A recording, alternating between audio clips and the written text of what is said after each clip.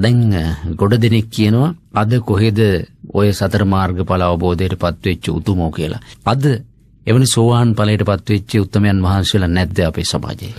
සැබවින්ම ඒක අපිට නැහැ කියන්න බෑ හේතුව දේශනාවෙ තියෙන මේ නෛර්යානික ශාසනය යම්තාක් ලෝකයේ තියේද ආරයන් වහන්සේලා අනිවාර්යයෙන්ම පහළ වෙනවා කියලා. ඒ නිසා සෝවාන් ආදී ආර්ය උත්තමයන් වහන්සේලා ලෝකේ වැඩ නොසිටින්න බෑ අනිවාර්යයෙන්ම වැඩ ඉන්නවා. හැබැයි මම සෝවාන් වුණා මම සකදාගාමි වුණා මම රහත් වුණා මම බුදු වුණා කියලා අද කියන උදවිය මේ රටේ ලෝකෙ ඉන්නවා. ඒ විදිහට තමන් වහන්සේලාගේ උත්තරීය මනුස්ස ධර්ම ප්‍රදර්ශනය කරන උතුමෝ නෙවෙයි ආර්යයන් වහන්සේලා.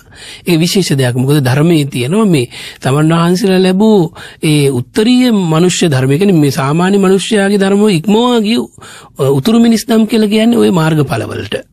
එවැනි තත්වයන් ප්‍රදර්ශනය කරන්නේ හෝ කියාපාන්න උත්සාහ කරන්නේ නෑ ආර්යයන් වහන්සේලා උන්වහන්සේලා ලැබූ ආර්ය ඵලයේ සාක්ෂාත් කරපු ආර්ය ඵලයේ ඉඳගෙන ඊළඟ ආර්ය ඵලයට පත් වෙන්න තමයි උන්වහන්සේලා උත්සුක වෙන්නේ. ඒ නිසා උන්වහන්සේලා විවේක සුවයෙන් විවේකීව වැඩ ඉන්නවා.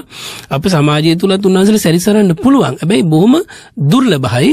නමුත් ආර්යයන් වහන්සේලා නැහැයි කියන්න බෑ. අනිවාර්යයෙන්ම ආර්යයන් වහන්සේලා ලෝකේ වැඩ ඉන්නවා. මොකද ධර්මයේ තාම ජීවමානව තියෙන නිසා.